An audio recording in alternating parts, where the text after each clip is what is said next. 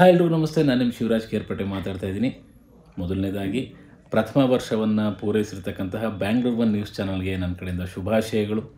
ಮುಂದಿನ ದಿನಗಳಲ್ಲಿ ಉತ್ತಮವಾದಂತಹ ಸುದ್ದಿಗಳನ್ನ ನೀಡಿ, ಇನ್ನೂ ಉತ್ತುಂಗಕ್ಕೆ ಇರಲಿ ಈ ಚಾನಲ್ ಅನ್ನೋದು ನನ್ನ ಆಶಯ. ಸೊ ಒಂದು ಚಾನಲ್ ಬೆಳಿಬೇಕು ಅಂದರೆ ಚಾನಲ್ ಹೆಸರಿಂದ ಮಾತ್ರ ಅಲ್ಲ, ಒಳಗಡೆ ಇರುವಂಥ ಅಷ್ಟೂ ಜನ ಸದಭಿರುಚಿಯ ಒಂದು ತಂಡದಿಂದ ಇದು ಸಾಧ್ಯ ಆಗುತ್ತೆ.